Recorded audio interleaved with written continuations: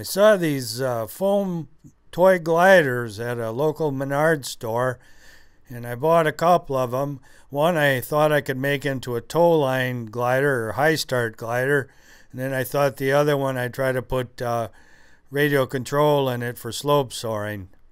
Well, I didn't get it to uh, go very well on the high start. It just wouldn't uh, keep going up.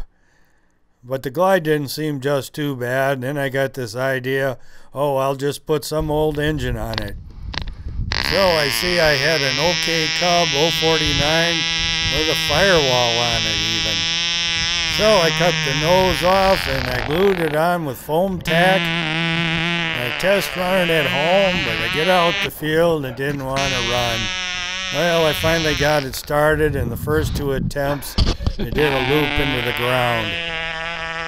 After the first crash, I couldn't get the engine started, and I gave up, flew some other airplanes, and I thought, well, I'll give it another try. And darn if I didn't get it started.